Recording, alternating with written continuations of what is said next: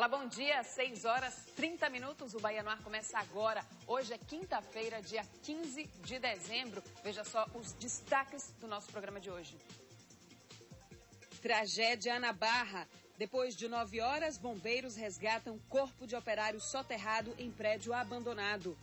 O prédio havia sido construído há mais ou menos 30 anos e estava sendo demolido para que um novo edifício fosse construído nesta mesma área. Jovem de 22 anos passa mal e morre no aeroporto de Salvador. Marcos Valério sai da prisão e nega a acusação de grilagem de terras. O que é imputado a mim não procede. E vou falar mais. Chega de jogo político. Pedágio. Reajuste na tarifa deixa motoristas insatisfeitos. Não concordo nem com o pagamento, imagina com o aumento. Violência contra a mulher. Cidade de Feira de Santana registra mais de 5 mil casos só em 2011. Tinha medo de sair até na rua, com medo de alguém olhar ou falar comigo e chegar em casa e me bater. Olha, esses depoimentos são impressionantes. Você vai ver ainda nessa edição do Bahia no Ar a crueldade de pessoas que dizem que amam né, a esposa, a mulher, e são capazes de cometer uma covardia dessa. Fique ligado aqui no nosso programa. Olha, a polícia prendeu três integrantes de uma quadrilha acusada de clonar cartões de crédito e de falsificar documentos depois de roubar correspondências. Um dos envolvidos no esquema é o ex-policial militar Mauro Vinícius Soares. A quadrilha é especializada em roubar correspondências da Central dos Correios. Além de Mauro, também foram presos em flagrante André Oliveira de Jesus e Tássio dos Santos Barbosa. Com eles, a polícia encontrou cartões de crédito clonados, documentos e carteiras de habilitação falsas. Todos vão responder por estelionato e falsidade ideológica.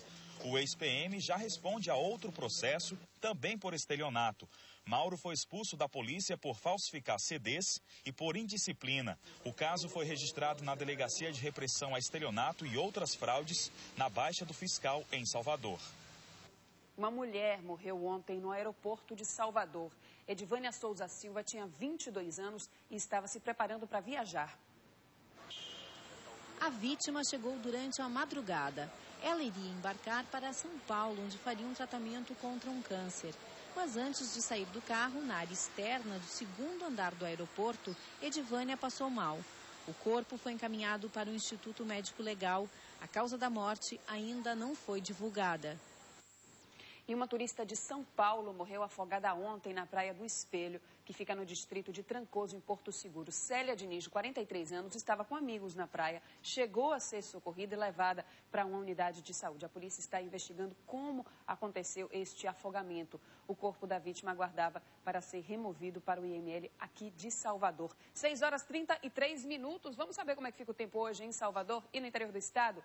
Olha só, nesta quinta-feira o sol brilha forte, faz bastante calor à tarde e o tempo volta a ficar seco no sertão baiano. Nas demais áreas do estado, o sol também predomina, mas pode chover rápido no decorrer do dia. Veja como é que fica o tempo em toda a Bahia.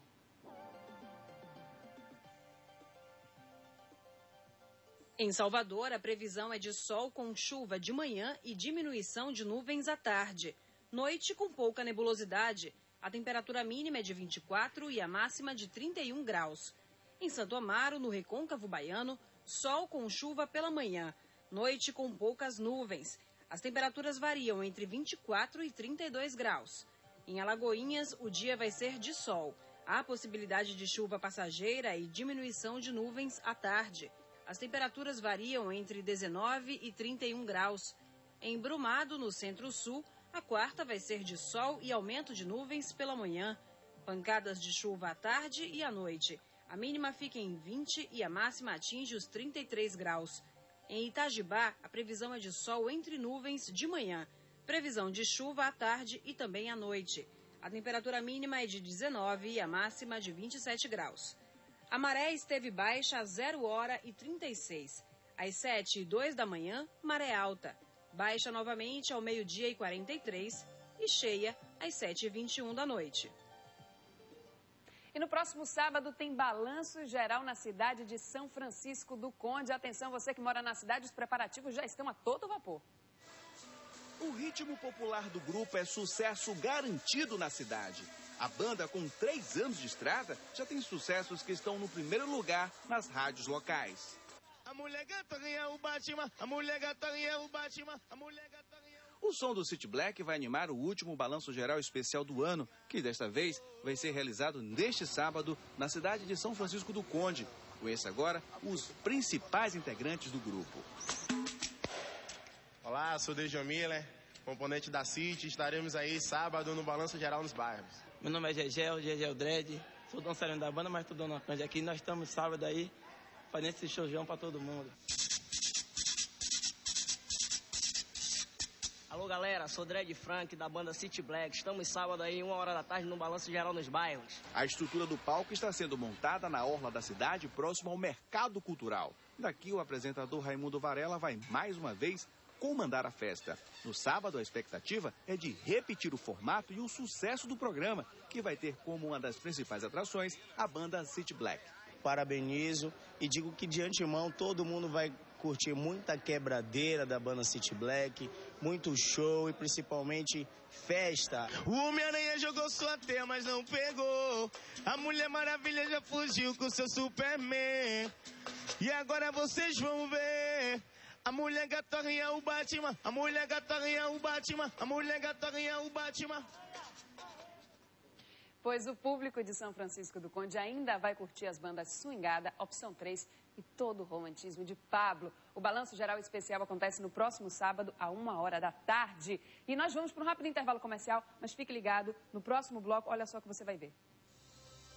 Marcos Valério sai da prisão e nega a acusação de grilagem de terras. O que é imputado a mim não procede. E vou falar mais. Chega de jogo político. Sábado, 11h15 da noite,